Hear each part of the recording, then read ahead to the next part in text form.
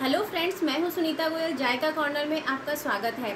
आज हम बना रहे हैं जायकेदार चटपटी इंडियन स्टाइल मैक्रोनी जो कि खाने में बहुत ही टेस्टी लगती है। आपके घर कोई मेहमान आने वाले हैं पार्टी है, या फिर ब्रेकफास्ट में आपको कुछ आज चटपटा खाने का मन हो रहा है, बारिश का मौसम है तो चटपटा खाने का मन तो हमारा करता ही है। तो आज हम जो इंडियन मसाले होते हैं, बस उसी से हम मैक्रोनी बनाएँगे, जो कि बहुत ही चटपटी और जायकेदार बनेगी। तो चलिए हम स्टार्ट करते हैं। आज हम बना रहे हैं इंडियन स्टाइल मैक्रोनी जो कि खाने में बहुत ही टेस्टी लगती है। तो उसके लिए सबसे पहले हमें चाहिए, यहाँ मैंने लिया है पैन आप नॉन स्टिक भी ले सकते हैं और उसमें मैंने दो चम्मच ऑयल डाल दिया है। और इसके बाद मैं ऐड कर रही हूँ यहाँ एक चम्मच राई। राई को हम अच्छे से तड़कने देंगे। हमारी जो राई है वो तड़क गई है। अब मैं डाल रही हूँ एक चम्मच जीरा। और उसके बाद हमें ऐड कर देना है। यहाँ मैंने गार्लिक लिया है, इसको मैंने फाइनली चॉप कर लिया है। हल्का सा सॉटे करना है, उसके बाद मैं डालूँगी हरी मिर्च। ये मेरे पास फाइन चॉप्ड जो है, हरी मिर्च है, जो कि मैं इसमें ऐड कर रही हूँ, इसको हल्का सा सौते करेंगे। और ये मेरे पास है फाइन चॉप्ड प्याज, जिसको हमें इसमें ऐड कर देना है और इनको भी सौते कर लेना है। और मेरे पास है दो बारीक कटी हुई शिमला मिर्च और दो बारीक कटे हुए टमाटर। हमने जो प्याज है वो हल्का सा सौते कर लिया है। अब हमें जो इसमें ऐड करना है तो मेरे पास जो ये बारीक कटा हुआ टमाटर है, वो इसमें ऐड कर दिया है। उसके बाद हमें ऐड करना है बारीक कटी हुई शिमला मिर्च। और हम उसको लगभग पकाएँगे टू मिनट्स हमें उनको बहुत ज़्यादा जो है, बिल्कुल जो है, मैशी नहीं करना है थोड़ी सी खड़ी रखनी है।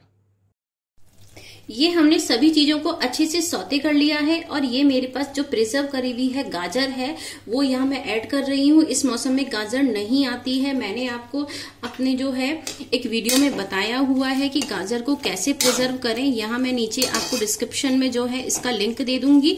तो आप भी अपना जो गाजर है, वो प्रिजर्व कर सकते हैं। अब जो हमें है, इसमें मसाला ऐड करना है। आज हम इंडियन स्टाइल मैक्रोनी बना रहे हैं तो बिल्कुल जो है इंडियन स्टाइल ही हम इसमें मसाले डालेंगे। तो यहाँ मेरे पास थोड़ा सा है, जो आधा चम्मच है, मैं रेड चिली पाउडर ऐड कर रही हूँ। जो कश्मीरी रेड चिली पाउडर है, वो हम इसमें ऐड कर रहे हैं, जिससे कि इसका कलर है, वो बहुत ही बढ़िया आएगा। और मेरे पास है रेड चिली फ्लेक्स ये भी मेरे घर का बना हुआ है तो ये भी मैं इसमें ऐड कर रही हूँ। और उसके बाद हमें ऐड करना है ऑरेगेनो तो यहाँ मैं एक चम्मच जो है ऑरेगेनो भी ऐड कर रही हूँ। और ये मेरे पास है, चार जो है मैंने टमाटर लिए हैं और उनका मैंने पेस्ट बना दिया है, वो भी हम इसमें ऐड कर देंगे और लगभग इसको टू मिनट्स अच्छे से चलाएँगे। जो ग्रेवी है हमारी बहुत अच्छे से पक गई है। अब हम इसमें करेंगे जो है स्वाद के अनुसार नमक और आधा चम्मच गरम मसाला। यहाँ मैंने नमक और गरम मसाला ऐड कर दिया है। अब मैं लगभग दो से तीन चम्मच जो है टमाटो केचप है, वो इसमें ऐड कर रही हूँ। ये ऑप्शनल है।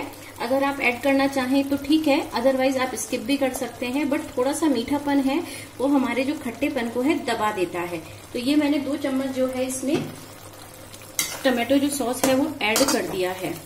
ये हमने ऑलरेडी जो है बॉयल हमने मैक्रोनी ली है तो यहाँ मैंने इसको पहले से उबाल लिया है। इसको जो उबालने का तरीका है वो ये है कि आप एक जो है पतीले में दो ग्लास पानी लीजिए और उसमें बहुत अच्छे से बॉयल आने दीजिए। एक चम्मच ऑयल डालिए और आधा चम्मच नमक डाल दीजिए।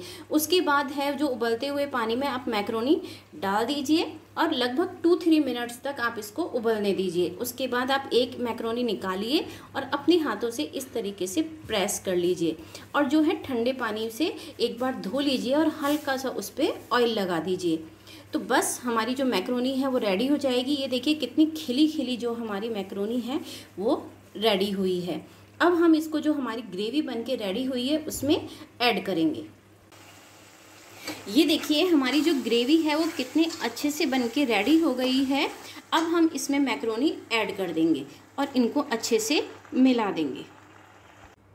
ये देखिए, हमने जो मैक्रोनी है वो कितने अच्छे से इसमें मिला दी है ग्रेवी में और ये कितने अच्छा कलर इसमें आया है। अब मैं इसमें ऐड कर रही हूँ थोड़ा सा धनिया।